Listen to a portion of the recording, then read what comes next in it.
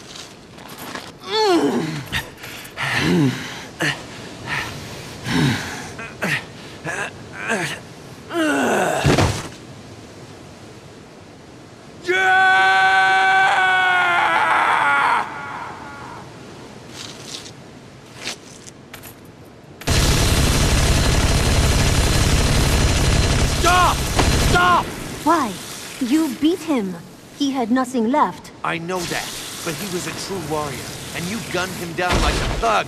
This is not some Pee-wee karate tournament, Travis. You do not trade bows and go home. You are an assassin, and killing is how you win. But I... But what? He fought honorably, so you want to let him live? So he can come back stronger and cut you in half? You are developing a bad habit. First that dumb schoolgirl, now him?